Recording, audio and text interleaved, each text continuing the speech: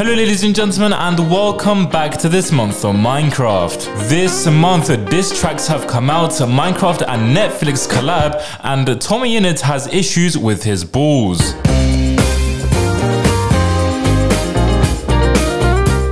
This month, Minecraft celebrates its 15th anniversary and with it, so many new updates and announcements have come from Mojang in this month. Minecraft have released new capes, new snapshots, almost everything under the sun, but there are a few things in particular. Towards the end of the month, Minecraft released a very exciting trailer that shows a massive incoming collab.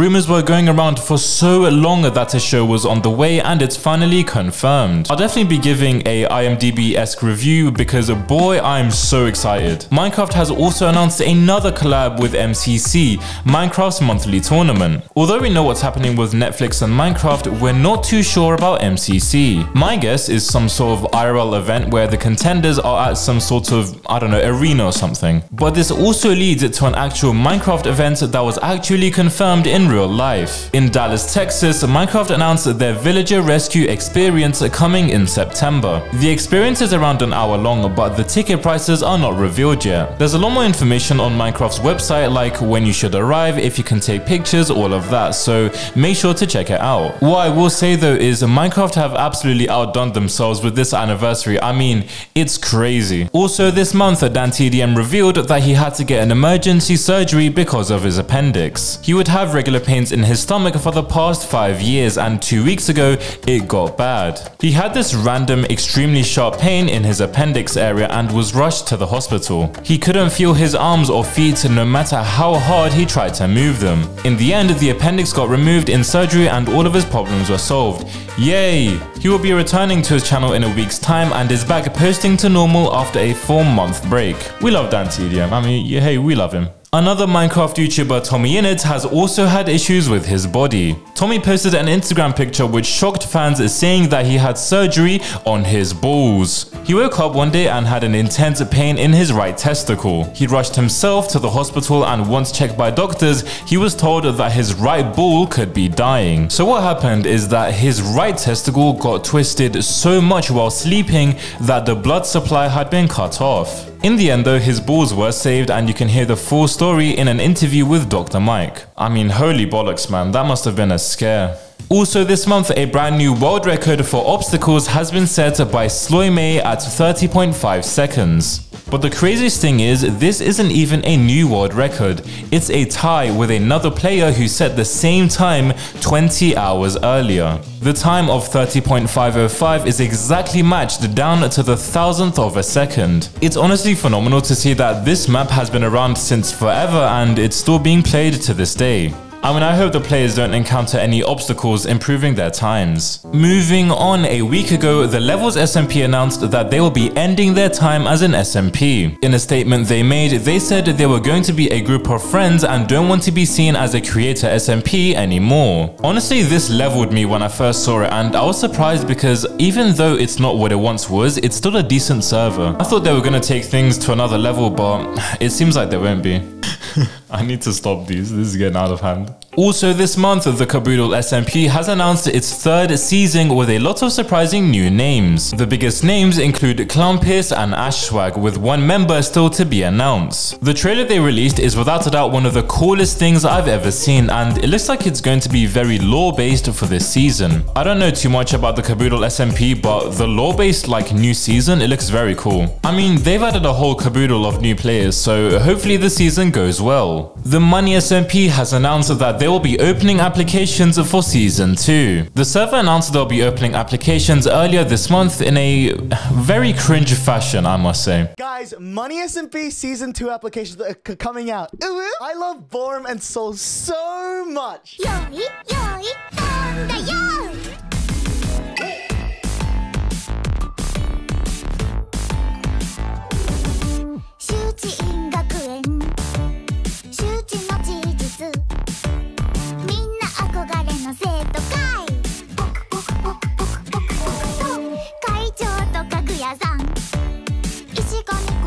初期の時間。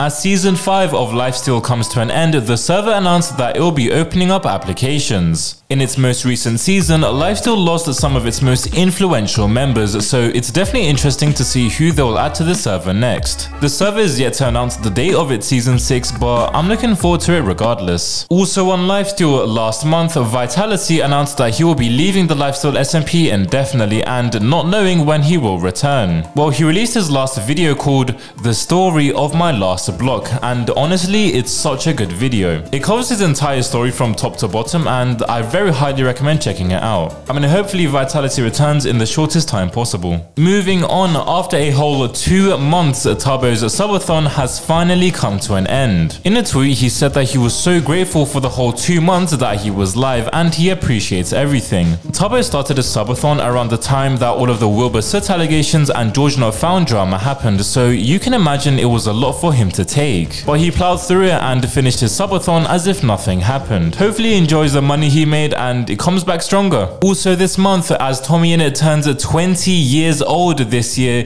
he's been doing some reflecting after his tour ended very early on this month. In two videos that he released this month, they both talk about how his life changed as he has grown older. He isn't the kid that he once was and for a long time he lost that YouTube drive that he once had. But now that he started his comedy tours, he started to get the motivation to put effort into something and be excited for it to succeed. You know, fun fact, I was meant to turn up to the first ever TommyInnit show in Brighton. I, was literally meant to be there and I was gonna turn up in a Spider-Man suit. Like, how sick would that have been? But I couldn't be there for personal reasons. It's, it's very, very annoying. But imagine how iconic it would have been. Oh my god. A Twitch streamer by the name of MaddieMooTV has been kicked off the Twitch SMP for a very dark reason. Earlier this month, someone called Illogical Order posted a statement on the Twitch streamer that goes like this. As you may have noticed, MaddieMooTV has been banned from many events and SMPs. This is due to grooming, stalking and harassment. Maddie, I am disappointed in you as you claimed it was a joke but evidently did it which makes it disgusting. An entire document was compiled together by all of the victims and I highly recommend that you check it out. I skimmed the document and ah, it's so messed up. I'll leave a link down in the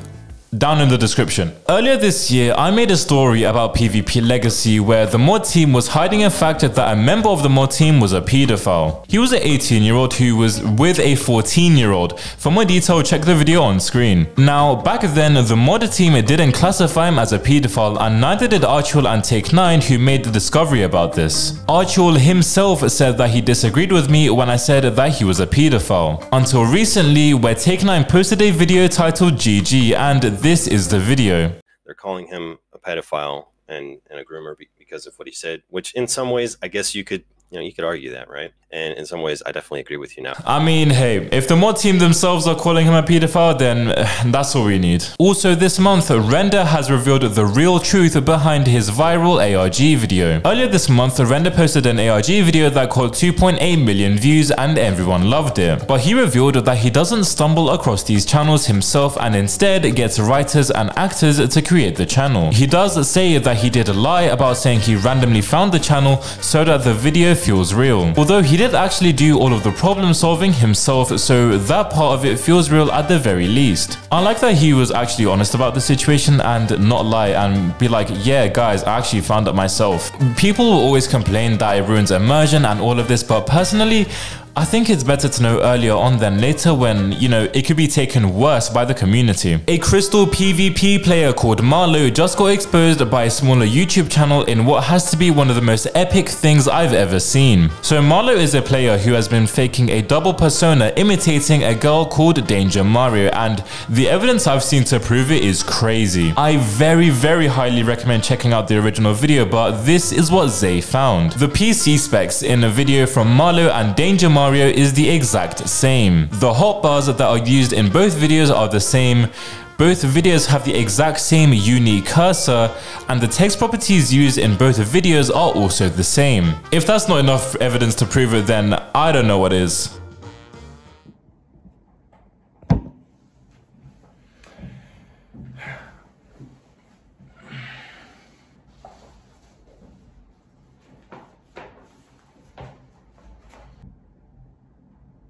Hey everybody.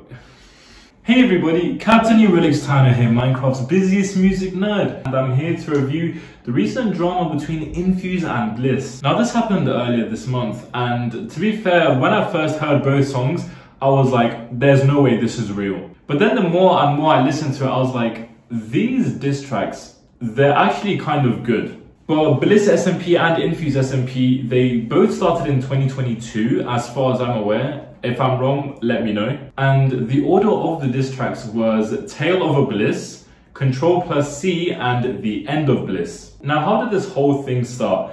Well, on a track called Ice Down made by Reddish and JJ, and there was a couple of sneak disses in the song that sort of started off this whole drama, with the main sneak diss being, since E not around, the members done hung up that ice, they're not even placing that shit. And then in the description it says, Bliss is next. So what happens after this track comes out? Will, a member of the Bliss SMP, calls JJ asking him if he's going to actually drop a full-length diss track. To which JJ says, yeah, but it's mainly for fun. And then they just sort of left the whole project for a month, and then a month later, out of nowhere, a Tale of a Bliss drops. For the Tale of a Bliss, the beat starts off with like a classic piano snazzy thing, and then and then it all of a sudden just transforms into this like Playboi Carti, Ken Carson type of beat. And like the bass is crazy. It's just it's just hitting you all the time. And while I do think the flow of Reddish is greater than JJ's in my opinion, it's a lot harder to understand what he's actually saying. And when I mentioned that, you know, Playboi Carti type beat, he's sort of using that as well with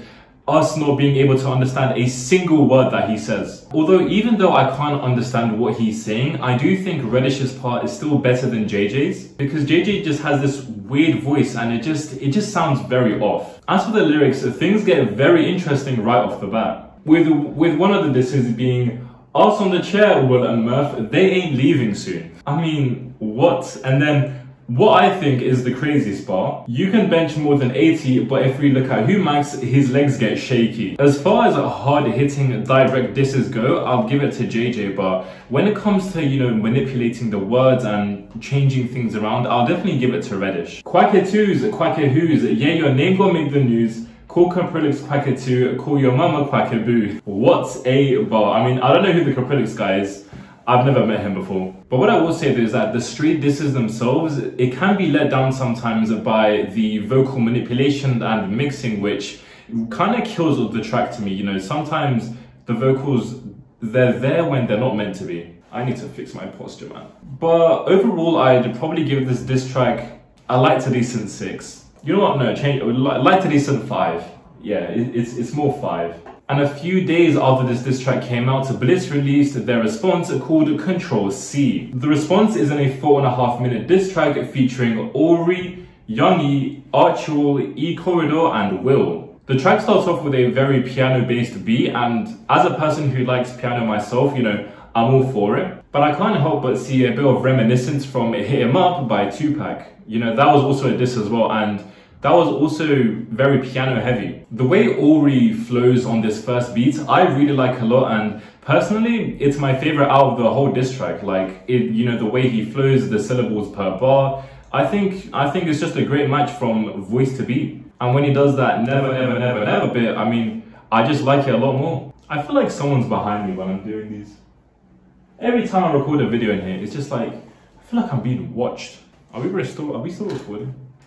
Okay, we are. you will never, never. I'm not recording my audio. It's okay, it's okay, it's fine, it's fine, it's fine. Now you can hear me. As I said though, the first verse in this song is genuinely the best I've heard of um, the first two diss tracks but it's let down and it's and it just ruins a completely perfect verse for me. When Ori tries to sing on the beat, oh, it just it completely ruins it to me. It completely ruins it. A perfect verse, down the drain. And this sinks even lower when he tries to do this. I don't know, flipping middle school. You know, you know them pianos you have in middle school when you hit that DJ, DJ. It just completely ruins it. Quit, quit, quit, quit, quit, quit. Uh, it's just like, oh, it was so it was going so well. The track was going so well until it was just ruined. It doesn't sound cool. It doesn't like refresh the whole beat. It just sounds ass. Thankfully, though, this whole quit, quit, quit thing doesn't drag out for too long and it ends pretty quickly.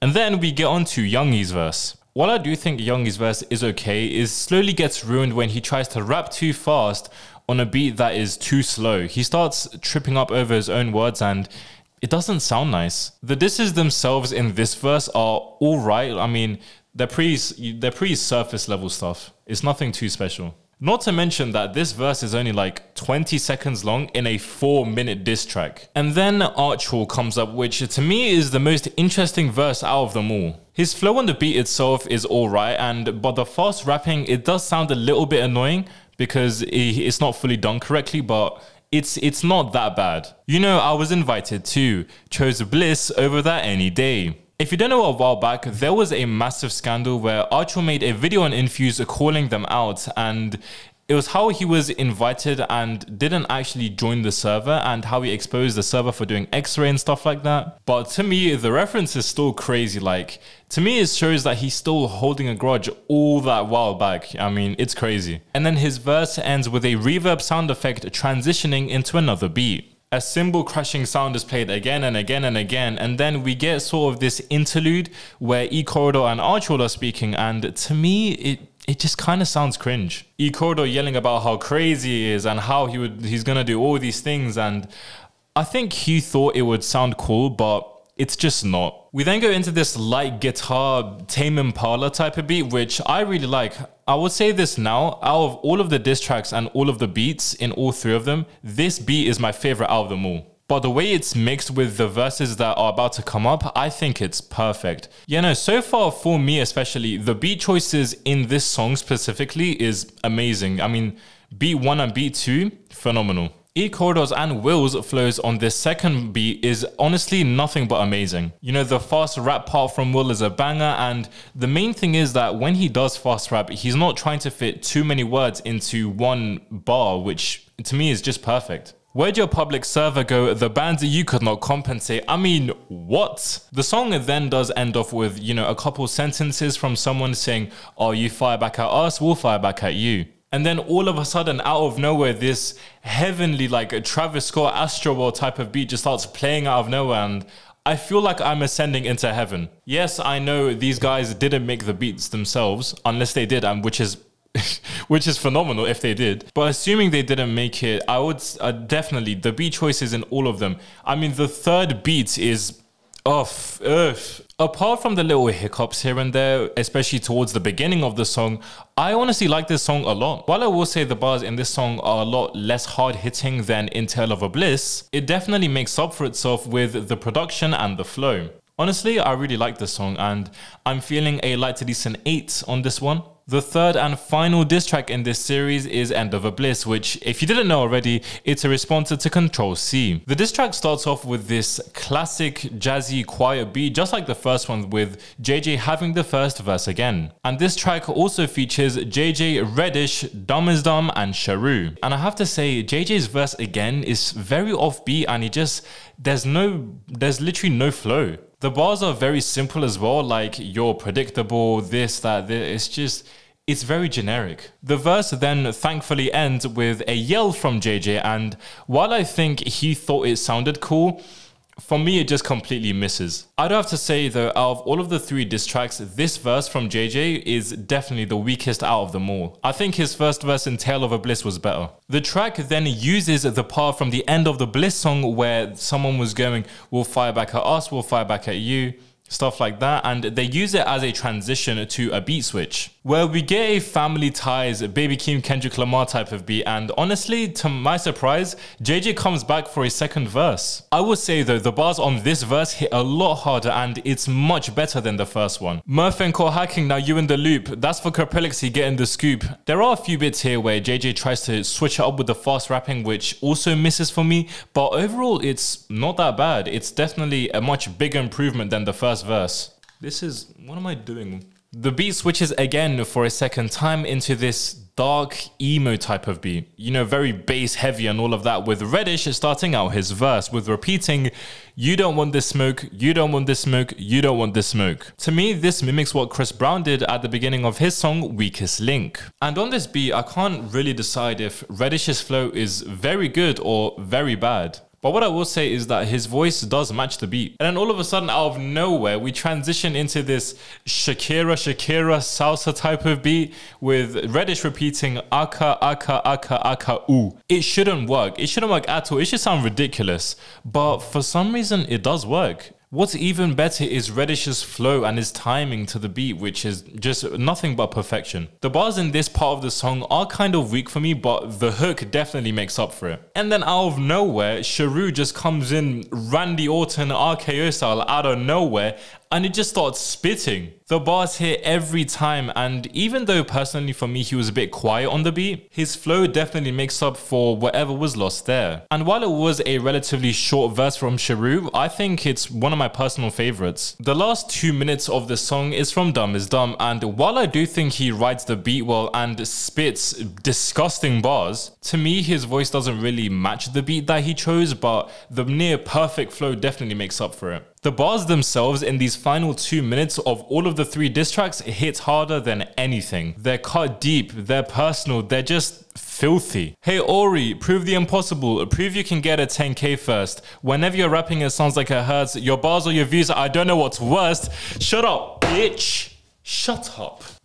Uh, this is very expensive. Shut up. That's Phil, that's disgusting. Brother, ugh. The mixing and the background vocals in this verse is nothing but amazing, but I do have to say it slowly gets more annoying and more, and it drops off more as the verse goes on. The track then ends with a surprise feature from Diony saying, My top 10 servers are Infuse, Infuse, Infuse, Infuse, Infuse, Infuse, Infuse, Infuse, Infuse, Infuse. Infuse. Overall though, this track has very high highs and very low lows. This track for me is definitely one of the best, but it's led down by a very weak starting verse and a few hiccups here and there in the vocal production. I mean, I'm feeling a like 9 on this track. So then, who do I think won the beef? Well, well in my opinion, no one completely wiped the floor with anyone. Infuse SMP! Woo, woo. Congratulations, you have won the beef with Bliss SMP, verified by me because only my opinion matters. Honestly, I do wish there were more diss tracks coming out because low-key, this was like really enjoyable to make. Seeing here and recording on a camera in this room, I never thought I would have been doing it. And also, before you go on Twitter, this is all a joke. Fucking idiots. Um, sorry this came out late. I had exams. Watch the previous this month for Minecraft.